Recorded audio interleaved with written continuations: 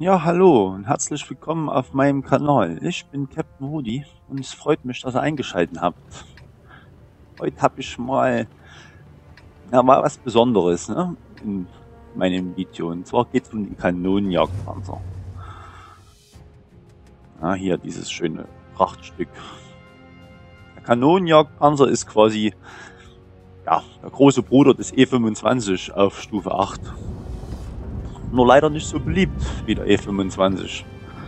Das kommt einfach daran, liegt einfach daran, weil der Kanonenjagdpanzer schon ist wie der E25, nur in allen schlechter. Ne? Also er hat schlechtere Einziehzeiten, er lädt länger nach, er verzieht mehr und die Tarnung ist auch nicht so gut wie beim E25.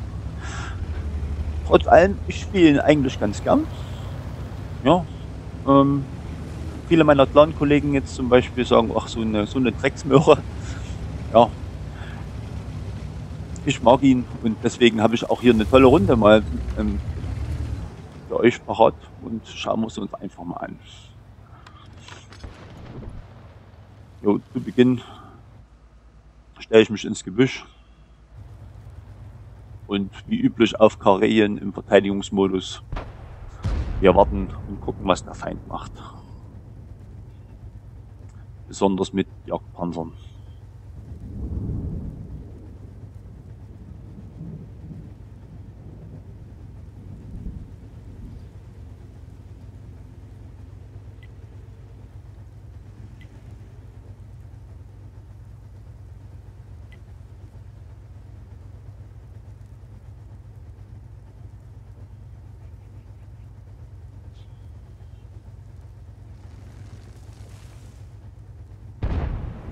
Ja, wie ihr seht, der Beginn ist etwas zäh. Jetzt geht der erste Gegner auf.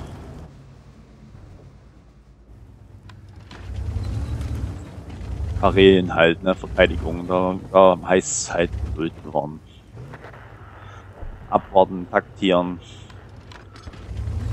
und gucken, ob sich irgendwo was tut. Ja, jetzt habe ich es gesagt. Ihr seht schon, Geduld ist keine Stärke von mir. War es noch nie.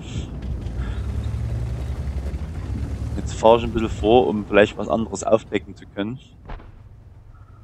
Scherenfernrohr geht an und zack, ich decke auch gleich was auf und ja, der ist sehr nah dran. Und natürlich gehe ich auch auf und aber eine Murmel versenken in dem IS-6. Schön seitlich reingekriegt. Ja. ja bin immer noch offen. Deswegen, deswegen entscheide ich mich jetzt einfach mal die Beine, oh, pardon, die Ketten in die Hand zu nehmen. Und wieder meine alte Position einzunehmen.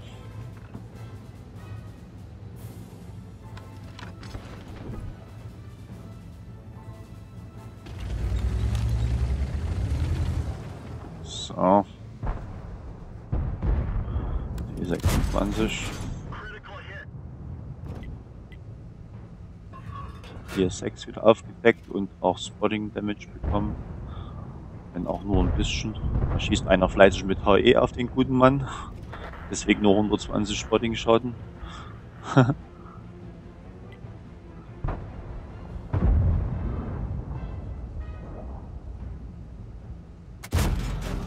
Und ich entferne ihn.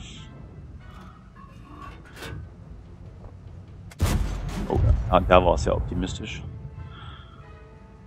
Ja, T26 nicht einfach zu durchschlagen auf die Entfernung, aber ich schaff's oben auf die Kommandanten Luke.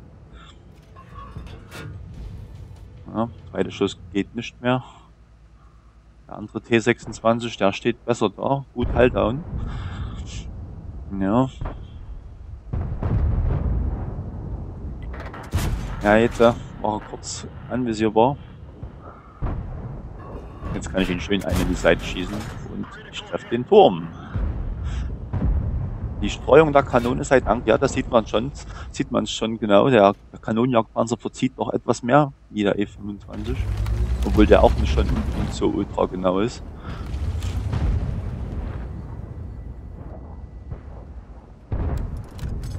Ja, jetzt äh, keiner bietet sich an von den Gegnern.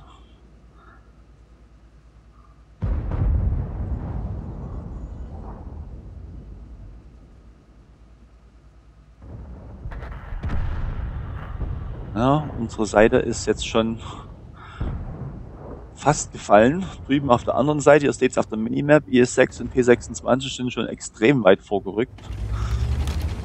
Aber das macht man eigentlich auf der Map nicht unbedingt. Also man sollte nicht unbedingt so weit vorfahren, weil man dann irgendwann nicht mehr fürs Team hilfreich sein kann. Weil der Gegner nämlich auf der anderen Seite, wie bei uns jetzt hier, vordrückt und uns besiegt. Mehr oder weniger. Ne? Seht ihr ja jetzt hier, wie weit wir schon zurückgedrängt sind. T25 konnte eine bekommen von mir und gleich noch eine. Er sieht mich nicht. Ich, doch, jetzt gehe ich auf. Okay.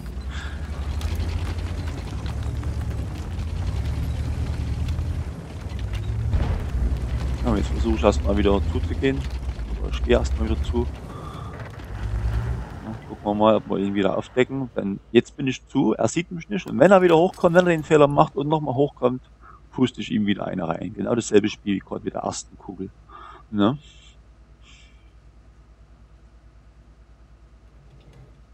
Er deckt mich halt nicht auf, weil da ist der Tarnwert. Oh, okay. Ja, jetzt heißt es natürlich schnell verschwinden.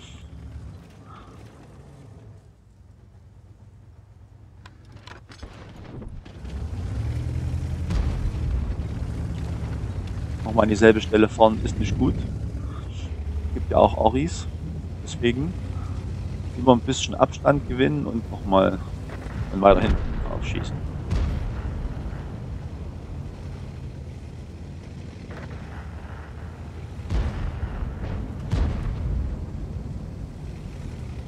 Na, jetzt geht der Jagdpanzer auf, jetzt entscheide ich mich, den mal einzuziehen. Und dann in dem Augenblick er wieder zu. Es war halt blöd. Vernichtet. Jetzt steht da Jetzt sieht das Spiel nicht mehr toll aus. Ne? Ihr seht ja, 7 zu 10. IS-6 und P26 haben sich besiegen lassen. Und jetzt haben wir schon arge Probleme. Wir müssen verteidigen. Ne? Das ist das, was ich vorhin gesagt habe. Also es ist nie gut, auf der Map so weit fortzufahren. Immer verteidigen. Oh, jetzt fahre ich einen Baum um. Komischerweise hat die Ari noch nicht einmal auf mich geschossen. Das ja, war Glück. Entscheide ich mich erstmal die Seite mit zu verteidigen, weil die Gegner jetzt hier vorrücken. Wachbau 2 ist natürlich ein schönes Ziel. Weich, gut zu durchschlagen und angezündet. Jawohl. Im Gegenzug, mein Kamerad hier ist aufgegangen. Ich nicht. Das ist eben dann der Vorteil des Kanonenjagdpanzers. Ne? Gute Tarnung. Zwar nicht so gut wie der E25, aber immer noch ausreichend, um nicht aufgedeckt zu werden. So, jetzt geht's an diesen kleinen Medium 6er. Und B29, wunderbar, schön in die Seite. Das sind jetzt die Stärken von dem Kanonenjagdpanzer. Ne? Aus der Deckung heraus. So, drei Minuten noch auf der Ohr. Wir haben es fast geschafft. Das Spiel ist wieder ausgeglichen jetzt.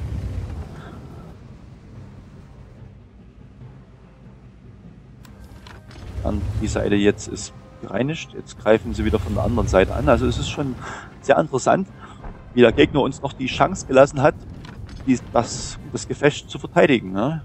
Erst greifen sie über B9 B8 an, dann auf der anderen Seite, jetzt greifen sie wieder über dies, diese Seite hier an. Also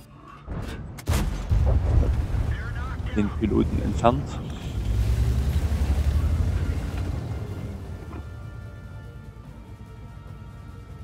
Also wenn der Gegner wirklich von allen Seiten gleichzeitig gedrückt hätte, glaube ich nicht, dass wir es gewonnen hätten. Ne? Das muss man wirklich sagen. Aber so wird es noch eine schöne Runde am Ende. So, jetzt stelle ich mich hier einfach her. Einfach weil ich noch den Damage haben wollte und den Kill hier. Und auch genauso bei diesem Kollegen hier, weil ich habe gleich noch geladen.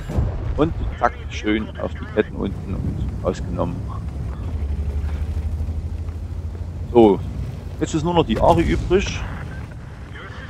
Ich werde eingeladen von dem VK 3601. Er möchte gerne Fuß. Ähm, ja, keine Ahnung, wer das jetzt gemacht hat. Irgendeiner hat jetzt auch gerade auf Annehmen geklickt. Ich war's nicht. Waffen, Waffenbrüder gibt es halt im Platoon ab drei Kills pro Spieler. Zusammen haben wir neun. Also hm. ich versuche jetzt noch die Ari zu finden. Na, nur leider reicht die Zeit nicht mehr. 4, 3, 2, 1 und Sieg. Ja, gucken wir noch mal aufs Gefechtsergebnis.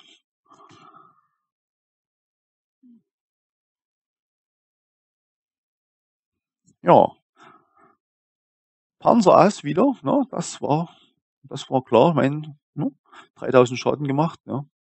Die üblichen Medaillen, Schläger, gut. Hab auch einen Brenn geschossen, das war der KV2, den ich schön auf die Seite ähm, schießen konnte. Duelland und Wirkungsfeuer, wie immer. So diese Standardmedaillen, Schläger, Wirkungsfeuer gibt's eigentlich andauernd. Okay, dann ähm, Hust, Waffenbrüder, natürlich selbstverständlich von Anfang an, ne, ihr habt's ja gesehen. und dann haben wir noch eine Kriegermedaille. Gut, von den Großen sind jetzt nicht so viel da, aber an sich, trotz alledem, war es dann doch eine schöne Runde. Bei dem Kanonenjagdpanzer kriegt man halt auch mit 1300 Forschungspunkte schon das Panzerass. Ja, liegt eben daran, weil er halt wirklich selten gefahren wird, weil der Panzer halt nicht so beliebt ist. Das gibt halt den Leuten, die diesen Dinge eben fahren, dann die Möglichkeit, öfters mal das Panzerass zu bekommen. Ne? 3000 Schaden, 6 Kills. Wunderbar. 19 Mal geschossen, 16 getroffen, davon 14 durchschlagen.